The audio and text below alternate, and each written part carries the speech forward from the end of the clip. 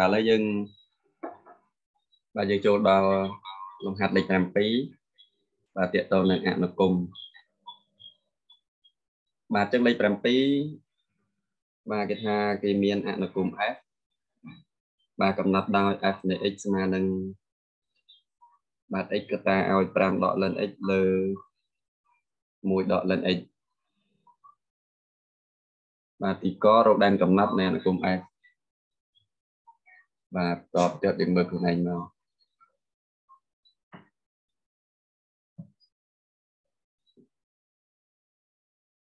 បាទលេខ7ទីកបាទរោគដែនកំណត់នៃអនុគម F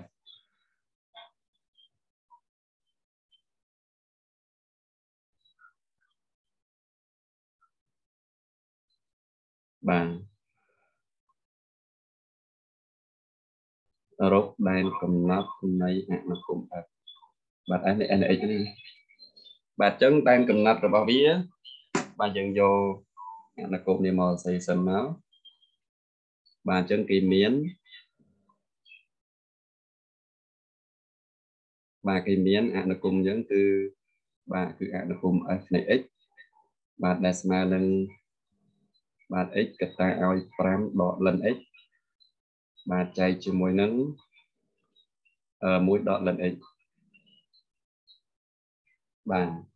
អញ្ចឹងដើម្បីរកដែនកំណត់របស់វា បាទជាទូទៅអឺពាក្យថាដែនកំណត់គឺអនុគម1បាទដែលពាក្យដែនកំណត់គឺជាតម្លៃ x បាទឬក៏សំណុំតម្លៃ x ដែលធ្វើឲ្យអនុគមនោះមានន័យបាទអញ្ចឹងដោយឡែកនៅក្នុងអនុគមយ៉ាងនេះវាមានន័យទៅបាន បាទលុត្រាតែភាគបែងរបស់វាបាទខុសពី0បាទអញ្ចឹងទី1គឺភាគបែងខុសពី0ហើយដោយឡែកនៅក្នុងនេះផងដែរវាមាន ln x នៅក្នុងនេះទៀតបាទអញ្ចឹងចំពោះ ln ដែលកំណត់របស់វាអាតម្លៃដែលនៅក្រោយ ln បាទត្រូវតែធំជាង0បាទអញ្ចឹងដែលកំណត់តម្លៃ x ដែលនៅក្រោយ ln ត្រូវតែធំជាង0អញ្ចឹងវាដើម្បីកំណត់ដែនដើម្បីរកដែនកំណត់វាទៅបានយើងត្រូវឲ្យ ចំនួន2លក្ខខណ្ឌបាទយើងអាចនិយាយបានថាអនុគម f បាទអនុគម F មានន័យឬក៏យើងនិយាយថាកំណត់បានក៏បានដែរណាបាទពាក្យថាមានន័យឬវាកំណត់បានបាទអនុគម F បាទមានន័យកាលណាបាទអាចនិយាយថាមានន័យកាលណាមានន័យលោកតាតែបាទអញ្ចឹងទី1តម្លៃដែលនៅក្រោយ len បាទតម្លៃដែលក្រោយ len គឺតម្លៃ x បាទគឺ x នោះត្រូវតែធំជាង0បាទមួយទៀតភាគបែងរបស់វាត្រូវតែខុសពី0អញ្ចឹងមានន័យថា1ដក ln x បាទត្រូវតែខុសពីពី0បាទជាទូទៅយើងធ្លាប់ដោះស្រាយប្រដែនកំណត់គឺថាអូឲ្យតែជាឲ្យតែមានលក្ខណៈជាពភាកបាទជាអាគមសនិទានអញ្ចឹងយើងតែងតែឲ្យភាកបែងរបស់វាខុសពី0តែម្យ៉ាងគត់គឺចប់ហើយ ក៏តែនៅក្នុងនេះដោយសារតែវាជា ln ទៅយើងឲ្យតម្លៃ x នោះត្រូវតែធំជាង0មួយទៀតអូខេអត់មានន័យថា len x នេះវាមានន័យឬក៏វាកំណត់បានលុះត្រាតែ x ត្រូវតែធំជាង0យល់ໄວគូនិយាយអត់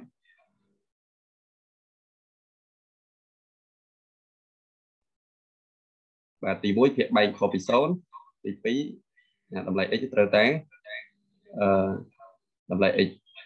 នៅលើត្រូវតែខុសពី ខុសពីអត្រូវតែធំជាង0បាទចានេះ x ធំជាង0ហើយអញ្ចឹងចំពោះអាក្រោមវិញញ៉ា1ដល់ ln x ខុសពី0យើងទាញរក x ទៅបាទអញ្ចឹងគ្រូអាចនិយាយថាសេបន្តឲ្យទៅបានសាក់មកមុនហ្នឹងបាទគឺ x ធំជាង0អានេះគឺបើសិនបើយើងបញ្ជូនគឺ x ខុសពីម៉ានដែល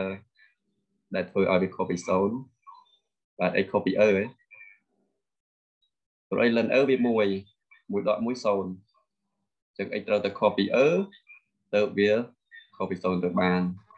មានន័យចេះណាយើងគ្រាន់តែកាត់តិចមានន័យថា1ដក ln x យើងឲ្យខុសពី0យើងថា1ខុសពី ln x អញ្ចឹងយើងពពាក e សងខាងទៅអញ្ចឹង e ស្វ័យគុណ1ខុសពី e ស្វ័យគុណ ln x អញ្ចឹង e ស្វ័យគុណ ln x គឺ x អញ្ចឹង x ខុសពី e យកឲ្យគូនិយាយអត់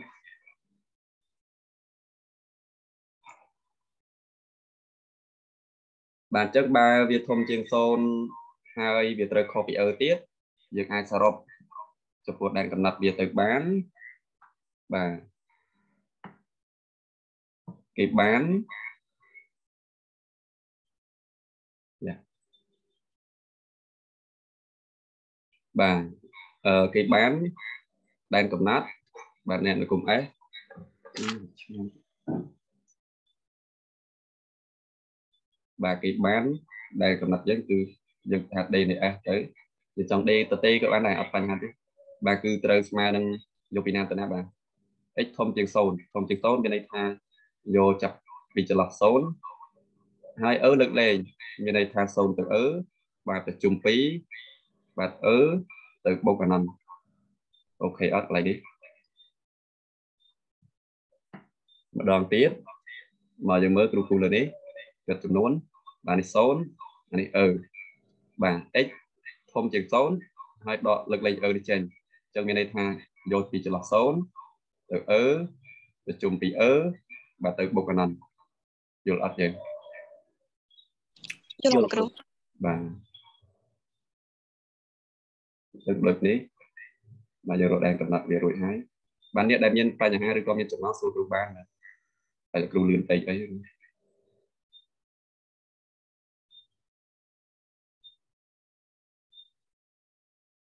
បាទកាលណាគេសរសេរបើកវងកញ្ចក់0ទៅអឺនេះ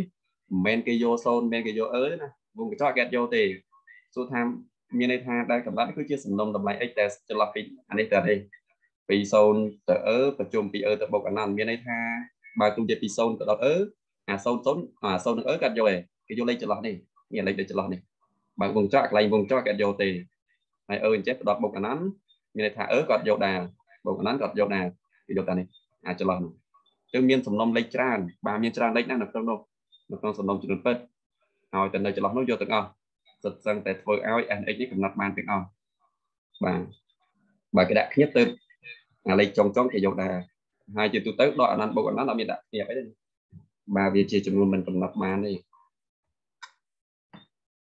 បាទចឹងចូលដល់ទីខ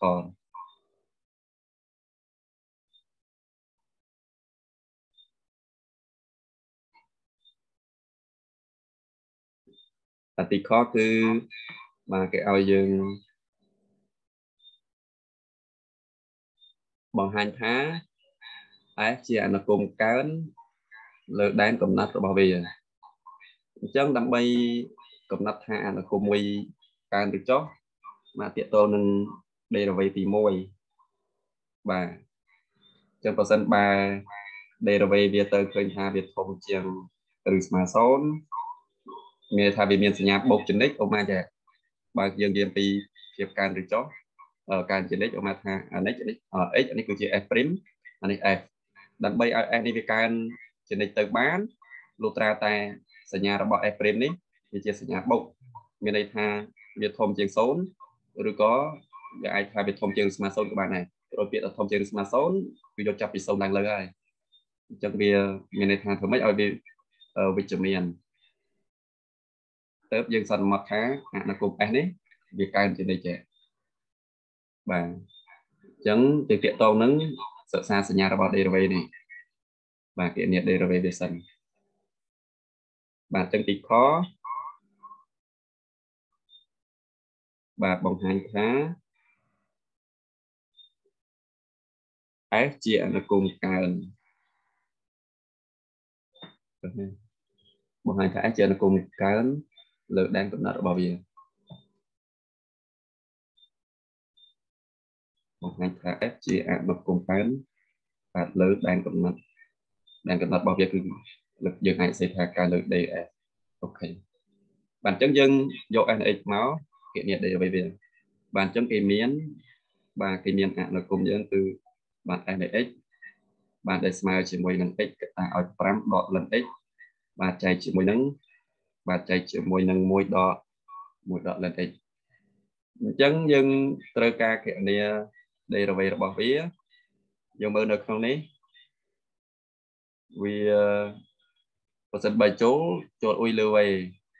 អ៊ុយលើវេតែអ៊ុយខាងលើនោះវាចូលអ៊ុយវេមកតាំងទៀតយើងចាត់ទុកថាឥឡូវជាអ៊ុយវេមកតាំងទៀតលើក្រោមពីវ័យទៀតទីចាត់ទុកថាអ៊ុយវ័យដប់វ័យអីក៏បានដែរ ហើយវាខុសគ្នាឬក៏យើងអាចបំលែងវាឲ្យមានភាពងាយស្រួលជាងនេះបាទយើងអត់ទាន់ derivate តែម្ដងទេបាទបើសិនបើយើងធ្វើបែបនោះវាមើលទៅវាញញ៉ៃដែរបាទអញ្ចឹងលោកគ្រូបំលែងវាបន្តិចសិនបាទអញ្ចឹងគឺថាឬបាទ f នៃ x បាទស្មើនឹងលោកគ្រូសង្កេតឃើញថាភាគបែងរបស់វានេះ ជាមួយដក ln x តែឥឡូវយើងមាន5ដក ln x ចឹងលោកគ្រូត្រូវការបំលែងឥឡូវឲ្យបានដូចអាក្រោមដើម្បីសម្រួលទៅវានៅវាមានភាពងាយនៅក្នុងការ derivate ចឹងលោកគ្រូអាចអាស័យនេះទៅជាបាទនេះអាចសេថា x កតាឲ្យគ្រូថា4 4បូក1វា5គ្រូចង់បាន1ដក ln x ទេគ្រូអាចសេថា4បូកនឹង1ដក ln x បាទហើយបិទមកវិញបាទចែកជាមួយនឹង1ដក ln x បាទបំលែងវានៅនេះរួចចាំដាច់ភាគបែងបន្តមកទៀតគឺយើងមើលអានេះគឺបាទគ្រូគុណបញ្ចូលទៅ បាទបំលែងអានោះរួចគ្រូគុណ x បញ្ចូលចឹងនោះវាបានបានណាបាទបាន 4x អឺបូកជាមួយនឹង x កតាឲ្យ1ដក ln x បាទចែកនឹង1ដក ln x បាទគ្រូគុណវាបលាតហើយ យើងបានប៉ុណ្ណេះទៅមកគ្រូធ្វើការស្រួលដោយផ្ដាច់ភាគម៉ែងមួយមួយអញ្ចឹងមានន័យថានេះបាន 4x បាទចែកជាមួយនឹង1ដក ln x បាទបូកនឹងបាទសញ្ញាមុខ x មានន័យថាយើងផ្ដាច់ចឹងណាអានេះមកក្រុមវាអានេះក្រុមវាចេះមកអញ្ចឹងអានោះ1ដក ln x ដូចគ្នាស្រួលចោលបាត់អសស x បាទអសតែ x មួយទេយើងផ្ដាច់ជាបាញ់ហើយយើងស្រួលទៅម្ដងទៅ បាទអញ្ចឹងដល់ពេលដែលគ្រូបំលែងបែបនេះឃើញថាវាងាយជាមុនបាទអាមិញអ៊ុយវេដែរប៉ុន្តែវាត្រូវអ៊ុយព្រីមវេដកវេព្រីមអ៊ុយលើវេការ៉េហើយវាចូលអាមុខវាចូលអ៊ុយវេមកតង់ទៀតទើបធ្វើយើងពិបាកដូច្នេះគ្រូបំលែងចេះសិនទៅវាមានភាពងាយស្រួលចឹងឲ្យតែនេះចូលទៅអ៊ុយវេមួយគត់នេះអាមុខអាក្រោយ derivative x derivative បានបាទទៅយើងចាប់ដើម derivative វាបាទដើម្បីចង់ដឹងថាអនុគម n វាកើនជានិច្ច លើដែន s អត់អញ្ចឹង f' នៃ x បាទ f' នៃ x បាទមុខនេះជា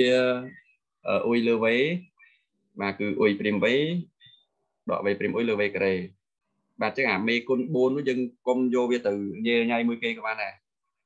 ចឹងគូថា4រូប4ទុកនៅស្គីមទៅបាទអញ្ចឹងចាត់ទុកថា x លើ1ដល់ x នេះជាអ៊ុយលើ v អ៊ុយលើ v អ៊ុយព្រីម v អញ្ចឹងមានថា x ព្រីមគូនឹង1ដក ln x អ៊ុយព្រីម v ដក v ព្រីមមានថា1ដក ln x នេះព្រីមគូនឹងអ៊ុយយើងជា x បាទលើ v ការ៉េបាទលើកជាការ៉េ derivative នៃអ៊ុយលើ v អ៊ុយព្រីម v ដក v ព្រីមអ៊ុយលើ v ការ៉េ4មេគុណទុកមកបាត់មកហើយបូកនឹងបាទ derivative នៃអញ្ញត្តិ x បាទ 1x គឺបាន1បាទនេះគុណវា x បាទតែបើសិនបើយើងឆ្លាតយើងអាចកាត់ចោលកន្លែង derivative នេះក៏បានដែរអញ្ចឹងនេះបានគ្រូអាចសរសេរទៅជាបាទ4គុណនឹង derivative នៃ x គឺបាន1បាទ1គុណនឹង1ដក ln x គឺដាក់1ដកអឺ ln x បាទ1ដក ln x ហើយ derivative 1កន្លែង ln x នោះបាទនេះដកនៅ scheme បាន0 derivative លេខចេញ0ហ្នឹងដល់ពេល derivative ln x គឺបាន1លើ x ដក1លើ x ឲ្យកន្លែងនោះដកជួបដកនេះចេញបូក1លើ x ជួបនឹង x នោះទៀតសម្រួល x ចោលទៅ មានន័យថាដាក់បូក1ទៅម្ដងទៅយល់អត់កន្លែងនេះ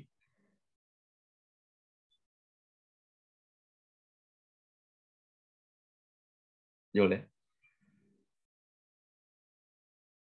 យល់បាទអញ្ចឹង derivative 1 0 derivative នៃដក ln x គឺបានដក1លើ x ដក1លើ x គុណនឹង x នោះសម្រួល x លើក្រោមសល់ដក1ដក1គុណនឹងដកដែលនៅពីមុខវានេះវាចេញបូកតែវាចេញបូក1 បាទបូក1ក្រោយនៅដែលទើបមកលើនេះ1អានោះវា2 2មែនអត់2ឥឡូវយើងបលៀនបានបានបាន2 ln x ឯងអឺ2ដក ln x បាទអញ្ចឹងវាស្មើនឹង4អានេះគ្រូអាចនិយាយថាគុណនឹង2ដក ln x បាទអញ្ចឹងកាលណាគេសេ4ពីមុខទេ4មានសិទ្ធគុណឡើងទៅលើភាគយក បាទចុះទី1ដក ln x គ្រប់គុណ4ឡើងទៅលើទៅអឺ4 2ដង8ដក4 ln x អានេះត្រូវភាគបែងក្រោយទៅអានេះគុណអានេះទេជាមួយយកភាគបែងនឹងគេគឺ1ដក ln x ទាំងអស់លើកជាការ៉េចឹងបូក1គុណនឹងប៉ុណ្ណេះប៉ុណ្ណេះ1ដក ln x ទាំងអស់នេះលើកជាការ៉េបាទចឹងចែកនឹងអានេះភាគបែងរួមវាគឺ1ដក ln x ទាំងអស់លើកជាការ៉េបាទយើងចាប់ផ្ដើមមើលមានអីទីសោះទៀតបាទពលាតនោះទៅបាទអញ្ចឹងវាស្មើនឹង8ដក4 ln x បាទនោះគឺចូល a ដក b លើកជាការ៉េហើយដោយសារសញ្ញាមុខវាជាសញ្ញាបូកយើងពលាតរួមចោតទៅដល់ទៅបាទបាទអញ្ចឹង a ការ៉េដក2ដងទូ a ទូ b បាទបូកនឹង b ការ៉េអា ln x លើកជាការ៉េនេះអាពាក្យថា ln x លើកជាការ៉េចេះយើងអាចសេថា ln ការ៉េ x តែមិនមែន ln x ការ៉េចេះទេបាទអញ្ចឹងបូកជាមួយនឹង ln ការ៉េ x អាការ៉េបូកដក2ដក ab បូក b ការ៉េហើយចែកនឹងភាគបាញ់វាគឺ1ដក ln x លើកជាការ៉េបាទយើងស៊ីសងចុងក្រោយវាមករួចយើងចាប់ដើមសន្និដ្ឋានវាអញ្ចឹង8បូក1វា9បាទដក4 ln x ដក2 ln x ទៀតបាទគឺបានដក6 ដក6 ln x បាទបូកជាមួយនឹង ln ការ៉េ x បាទចែកនឹងបាទ1ដក ln x លើកជាការ៉េបាទអញ្ចឹងយើងមើលអឺគ្រប់ x ដែលជារបស់ដែនកំណត់បាទ d នៃ f វាភាគបែងនេះវាត្រូវធំជាង0ចនិចហើយព្រោះអីកាលណាវាស៊ីសងចេញលេខអវិជ្ជមានលើកជាការ៉េវាវិជ្ជមាន បើវាជាលេខវិជ្ជមានលើកជាការ៉េវាវិជ្ជមានដូចគ្នាបាទវាមិនអាចឲ្យមានករណីស្មើសូន្យទេព្រោះវាស្ថិតនៅក្នុងដែនកំណត់អញ្ចឹងមានថាក្រោមវិជ្ជមានហើយគោលដៅរបស់យើងធ្វើយ៉ាងណាឲ្យឥឡូវវិជ្ជមានដែលទៅវាចែកគ្នាទៅធ្វើឲ្យ f' នេះវាធំជាង0ទៅបានគឺទៅ f' ធំជាង0ទៅយើងអាចសន្និដ្ឋានថាអនុគម f វាកើនជានិច្ចអញ្ចឹងយើងអាចសិក្សាវាក៏បាន ឬក៏យើងអាចមកនេះវា9បើយើងឆ្នៃវាបន្តិចទៅតើយើងអាចសេទៅជាទម្រង់ជាការ៉េទ្វេធាណាមួយបានអត់ចឹងគ្រូយកអឺអានេះវាគ្រូអាចសេថាចេះបានអត់គ្រូអាចសេថា3ការ៉េ9វា3ការ៉េអាការ៉េដក2ដងតួ a វាគឺ3តួ b វាគឺ ln x អាការ៉េដក2ដង ab បូក b ការ៉េមែនអត់ បាទគោលដៅយើងចង់ឲ្យវាលើកជាការ៉េដែរទៅបញ្ជាក់ថាវាវិជ្ជមានហើយឬក៏វាស្មើ0បានចំពោះភាគយកវាអាចស្មើ0បានតែភាគបែងអាចស្មើ0បានទេអញ្ចឹងនេះវាត្រូវស្មើនឹង a ការ៉េដក2ដង ab បូក b ការ៉េអញ្ចឹងបាន a ដក b ទាំងអស់នេះលើកជាការ៉េបាទអញ្ចឹងចែកជាមួយនឹង1ដក ln x ដែលលើកជាការ៉េអូខេអត់ទាន់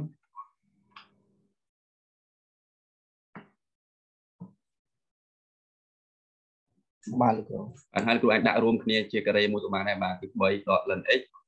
បាទចែកនឹង1ដក ln x ទាំងអស់គ្នាលើកជាការ៉េបាទអញ្ចឹងគ្រប់ x ដែលជារបស់ដែនកំណត់បាទគឺអឺធ្វើឲ្យភាគបែងវាខុសពី0ហើយលើកជាការ៉េវាវិជ្ជមានឥឡូវឥឡូវវាអាចវិជ្ជមានឬក៏វាអាចស្មើ0មានន័យថាចាអាភាគយកនេះវាអាចធំជាង0ឬក៏វាអាចស្មើ0 វាស្មើ0នៅពេលដែលអូម៉ាថា3ដើម្បីវាស្មើ0ទៅបានអូម៉ាថា ln e kip ln e kip បាន3ហើយចឹងនេះចេញ0ចាក្រោមកាលណាគ្រូឲ្យ x ស្មើនឹង e kip ដែរចឹងបាន1ដកអឺ ln e លើកជា kip បាន1ដក3ដក2ដក2លើកជាក្រេវា4ដែរអញ្ចឹងឥឡូវវាអាចស្មើ0បានអញ្ចឹងឥឡូវវាអាចស្មើ0អញ្ចឹងយើងអាចសន្និដ្ឋានរួមគ្នាទៅម្ដងថាកន្សំទាំងមូលវាអាចវា ធំជាងឬស្មើ0បាទយើងសន្និដ្ឋានថាធំជាងឬស្មើ0បាទគ្រប់ x ជារបស់ដែនកំណត់បាទគ្រប់ x ជារបស់ d នៃ f ទោះបីគ្រូនិយាយនេះអត់សួរថាមិនក៏យើងហ៊ានសន្និដ្ឋានថាវាធំជាងឬស្មើ0បាទពីព្រោះអីយើងសិក្សាទៅលើនៅលើដែនកំណត់របស់វាអញ្ចឹងគ្រប់ x ជារបស់ d នៃ f ដែលចន្លោះពី0ទៅ e ប្រជុំពី e ទៅបូកអនន្តកន្សំទាំងមូលនេះ គឺវាធំជាងឬស្មើ0បាទបើយើងគិតពីការ៉េវាតែងតែវាធំជាង0ជានិច្ចហើយប៉ុន្តែនៅក្នុងករណីនេះវាអាចស្មើ0ប្រកបនៅក្នុងនោះផងដែរនៅពេលដែលភាគយកវាស្មើ0វាធ្វើឲ្យទាំងអស់គ្នាស្មើ0យល់បាន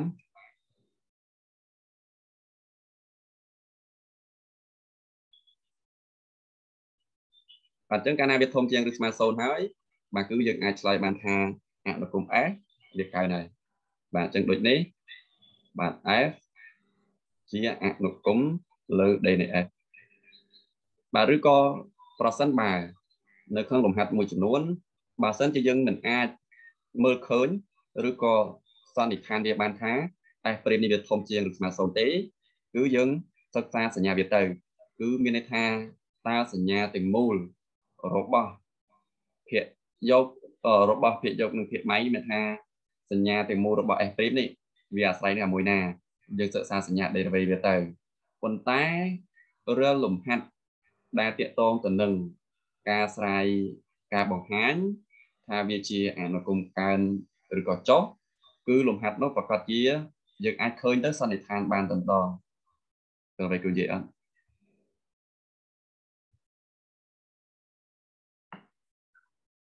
បាទអញ្ចឹងដើម្បីបង្ហាញថាអនុគមមួយជាអនុគមកើន លោកប្រើតែដេរវាបាទធំជាង0ធំជាងឬស្មើ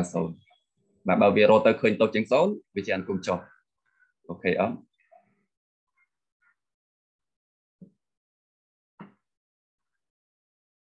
មានអ្នកឆ្ងល់អត់យើងអត់ទេលោកគ្រូបាទអញ្ចឹងយើងចូលដល់ទីកមួយទៀតបាទអញ្ចឹងគេថារោគកអរណេនៃចំណុច M ដែលស្ថិតនៅលើខ្សែកោង C បើ M ស្ថិតនៅលើខ្សែកោង C មានន័យថាកូអនដេរបស់ M វាប្រកាសជាទៀងទាត់នឹងអនុគម SX យើងឯងបាទយក x ទៅជួប y វាហើយនៅលើខ្សែកោង C តាំងអនុគម F ដោយដឹងថាបន្ទាត់ប៉ះត្រង់ចំណុចនោះស្របនឹងបន្ទាត់ពុះទី1បាទយើងត្រូវយល់អំពីបន្ទាត់ពុះទី1ពាក្យថាបន្ទាត់ពុះទី1 គឺជាបន្ទាត់ដែលមានសមីការ y y ស្មើនឹងដក x ចឹងនៅលើក្រានៅលើតម្រុយមកគឺអរនេះចានេះនេះគឺជាបន្ទាត់ណានេះយើងគួរកាត់កន្លែងគល់គឺជាអានេះគេហៅបន្ទាត់ពុះទី2យកໄວគួរនិយាយអត់បន្ទាត់ពុះទី2គឺ y ស្មើដល់ x បាទអញ្ចឹងកាលណាវាស្របគ្នាបាទបន្ទាត់ប៉ះនេះវាស្របជាមួយនឹងបន្ទាត់ពុះទី1វាប្រកាសជា វាមានមេគុណប្រាប់ទៅស្មើគ្នាហើយឬបន្ទាត់2ស្របគ្នាគេបាននិគុណប្រាប់ទៅស្មើគ្នាតែបើបន្ទាត់2កែងគ្នាវាគុណប្រាប់ទៅគុណចូលគ្នាចេញដក1បាទអញ្ចឹងយើងចូលដល់ទីកោ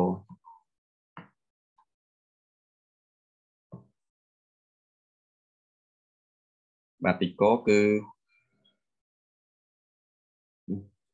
អុកចូលឡើងរកឯគេបានមើល រកក៏នេះចំណុច M ស្ថិតនៅលើខ្សែកោងផ្សេងបាទអញ្ចឹងគោលដៅយើងគឺរកគោអត់ដល់នេះចំណុច M បាទរកគោអត់នេះចំណុច M ចង់ដឹងថា M វាមានគោអត់នេះប្រមាណប្រមាណបាទអញ្ចឹងដោយសារតែ M នេះវាស្ថិតនៅលើអឺខ្សែកោងសេបាទអញ្ចឹងគាត់ថា ដោយបាទដោយ M ជារបស់ក្រាបសេបាទ M ជារបស់ក្រាបសេព្រោះវានៅលើខ្សែកង់សេមានថា M ជារបស់សេហើយបាទអញ្ចឹងដោយសារតែ M វាជារបស់សេអញ្ចឹងយើងអាចតាកតងនឹងអាប់ស៊ីសរបស់វាមកគេមានប្រាប់ឲ្យទៀតអត់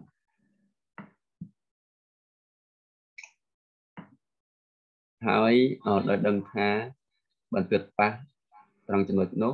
ស្របនឹងបន្ទាត់ពុះទី1នៃអករណីបាទអញ្ចឹងកាលណាស្របនឹងបន្ទាត់ពុះទី1បើសិនជា m វាជារបស់ខ្សែកោងសេនេះលោកគ្រូនិយាយមិញថា m វាជារបស់ខ្សែកោងសេអូមកចេះគឺថាសេជាអនុគមមិញគេកើនជានិចអី បាទឧបមាថាចេះទៅចុះអញ្ចឹងមានន័យថាឧបមាថា m នៅកន្លែងនេះទៅចុះអញ្ចឹងវាមានកណេ x មកថា x 0 y 0អញ្ចឹងមានន័យថាបើវាអឺវាស្ថិតនៅលើខ្សែកោង C ហើយវាស្របអឺបន្ទាត់ប៉ះត្រង់ចំណុច m នេះវាស្របទៅនឹងយ៉ាវាស្របទៅនឹងបន្ទាត់ពុះទី1វាប្រកាសជា កូអនដនេរបស់ចំណុច m នេះវាមិនអាចបាទអាប់ស៊ីរបស់វាមិនអាចអវិជ្ជមានបានទេបាទព្រោះ m ខ្សែកោងយើងវាវាតម្លៃវាកើនទៅនឹងគឺជាបន្ទាត់ y ស្មើ x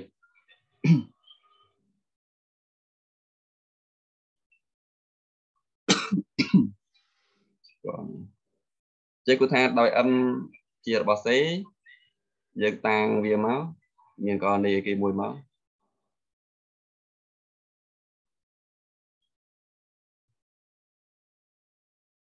បាទតាំង m ដែលមានករណី x0 y0 តែ y0 យើង y0 ជា s នៃ s នៃ x0 អីបាទយើងអាចសរសេរថា x0 y0 ក៏បានដែរបាទអញ្ចឹងយើងតាំង m មានករណីបែបនេះយើងរក x0 និង y0 ឲ្យឃើញមក ហើយបន្តទៀតគេថាឲ្យគេមិញយ៉ាប់មើលដល់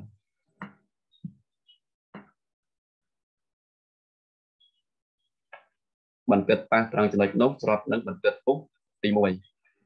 បន្ទាត់ប៉ះត្រង់ចំណុចនោះស្របនឹងបន្ទាត់ពុះទី1អញ្ចឹងមានន័យថាបើសិនជាលក្ខខណ្ឌនោះគឺយើងអាចបើបន្ទាត់ប៉ះត្រង់ចំណុចវាស្របនឹងបន្ទាត់ពុះទី1បន្ទាត់ពុះទី1 y ស្មើ x អញ្ចឹងមានន័យថាមេគុណប្រាប់ទិស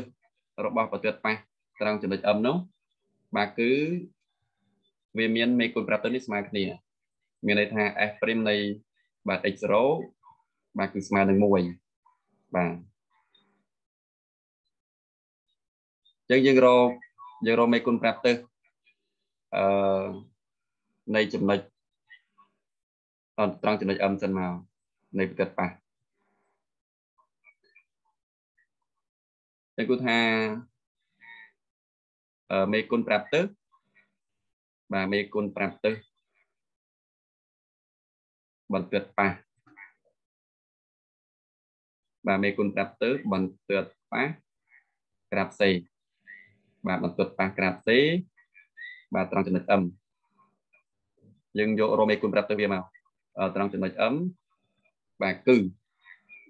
គឺបាទគឺ f' នៃ បាទ m វាបើមេគុណប្រាប់ទៅត្រង់ចំណុច m គឺ f' នៃ x0 ព្រោះយើងទាក់ទងនឹងសម្បត្តិបុក s នៃ x0 ចា៎អញ្ចឹងមានថាមេគុណប្រាប់ទៅគឺជា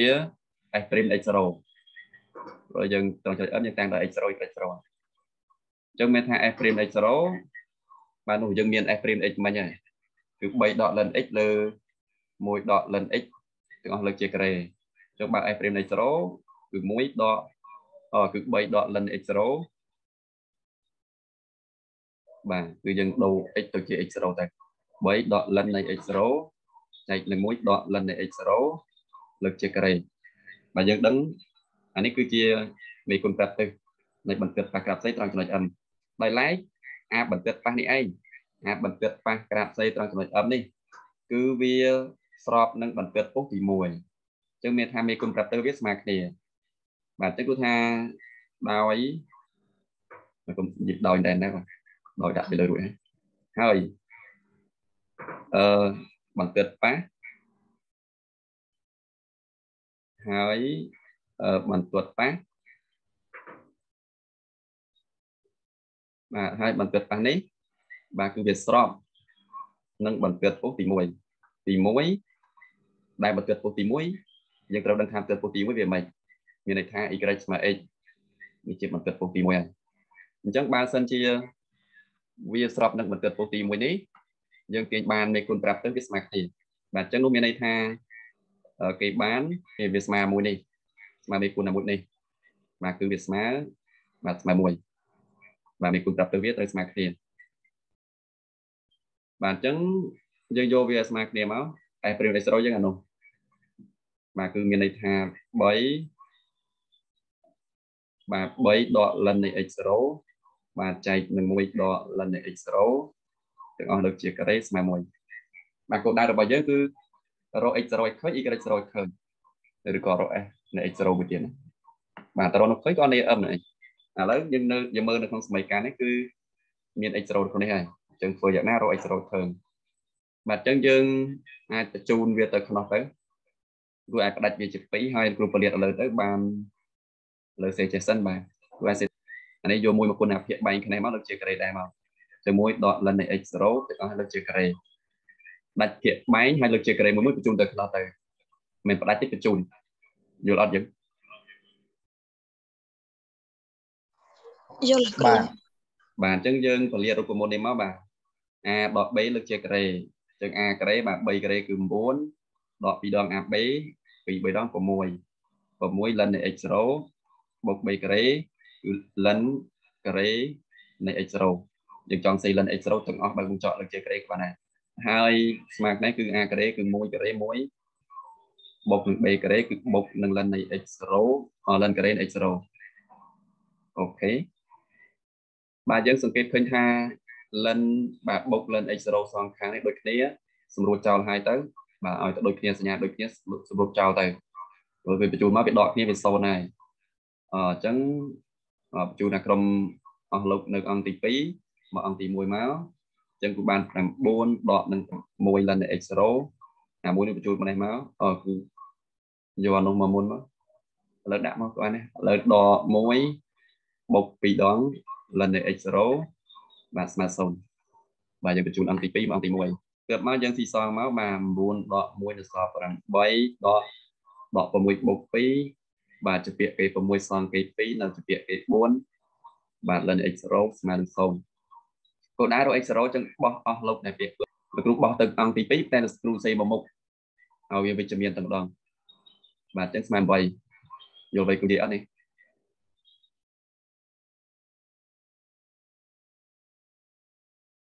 គាត់ណាទឿនលោកគ្រូបាទបន្តមកទៀតគឺយើងបញ្ជូន លេខដែលមុខ len x0 នេះគឺគ្រូបាន len x0